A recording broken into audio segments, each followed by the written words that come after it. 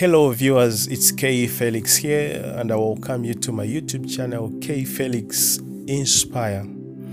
I would like to say a very big thank you to all of you for the support and the contribution you are giving to this channel. If you are new to this channel, please do not forget to subscribe and hit the bell icon so that you get notified whenever I post new videos. Stay tuned for more details in this report.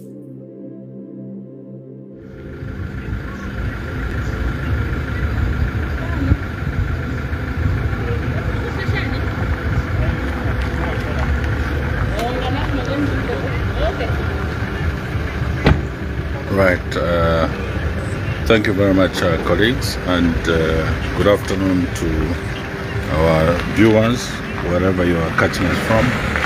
We have um, uh, an urgent matter that we want to address this afternoon.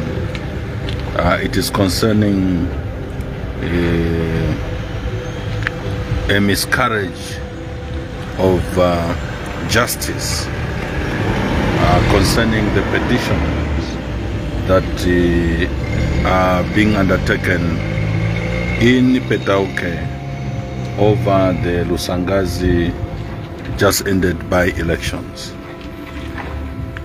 I'm sure the Zambian people remember that uh, we had, as Patriotic Front, a candidate in the name of Patrick Banda that the UPND through the political advisor to the president, Mr. Levy Ngoma, used to defranchise our candidate by having him arrested at the polling station. The day at the nomination center, the day that he was going to file in his nomination.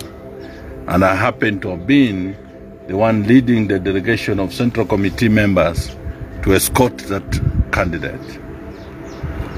That illegality and injustice was presented to the local government tribunal through a petition against the nominations. A tribunal led by the Lusaka resident magistrate, Mr. Chi, Chiwili, was convened. We had, of course, some concerns looking at the composition of that tribunal, but you still gave it a benefit of doubt. The decision that was made out of uh, that tribunal did not agree with it. It didn't make sense. Actually, the court were stripping themselves of the powers by making a ruling that a matter that is already before court, the police can still go and rearrest somebody or can go and arrest somebody when in fact the matter is already in court. It was shocking, but we know that now the judiciary has been invaded. What is of concern now is that we have since proceeded to petition the election in Lusangazi. And there are two petitions going on there. The miscarriage of justice emanates from the fact that uh, the same tribunal has been reconstituted to go and hear the petition against the election, even when they know that they had already sat to consider the facts, which facts may be recast in the petition against the election. How can you have the same court that already came up with a verdict on the issues that were raised by Patriotic Front candidate as well as Mr. Patrick Banda sit again in Petauke and expect them to come up with a just decision and vacate their own decision that are already made.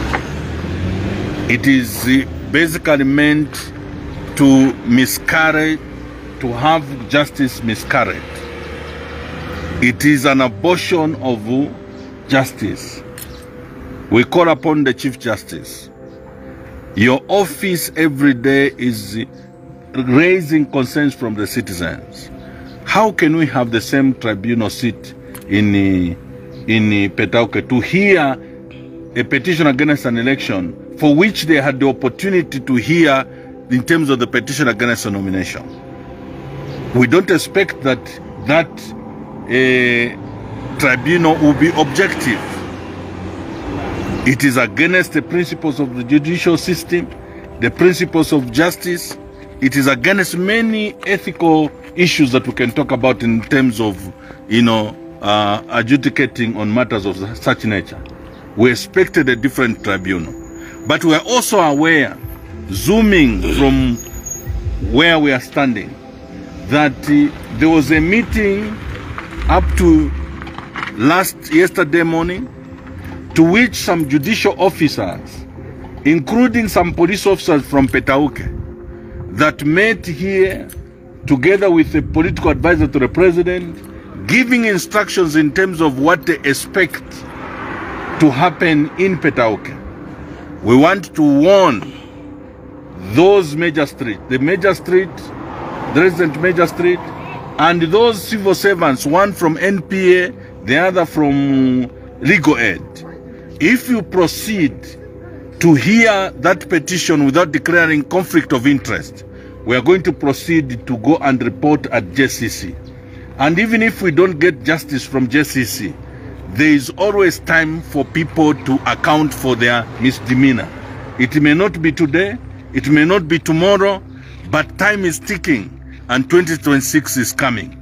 And Misaka indehichrem has been a good teacher to us that you can actually go and dig matters even of 10 years ago and follow them through. So whatever is happening, we are recording. What is going to happen in Petauke over the petition? First of all, the miscarriage of justice started with the fact that this is almost uh, uh, towards the end of the days provided in the constitution for which a petition is supposed to be heard. We the the petition was lodged in on the 11th of um, November, and it is expected that those petitions should be heard within 30 days. From 11th November up to today, we are remaining only with eight days before the close of the time. So why was the tribunal delaying? They want to make sure that the time remaining for all these issues we're raising to be raised to be very short, so that I can say, like they have said over Kwacha, over Kabushi, that we're out of time. Therefore, let's just proceed without hearing us properly. We are calling on the judiciary, especially the Chief Justice. Can you show your integrity on this matter? Disband that tribunal and set a fresh tribunal that will hear that matter. Thank you very much.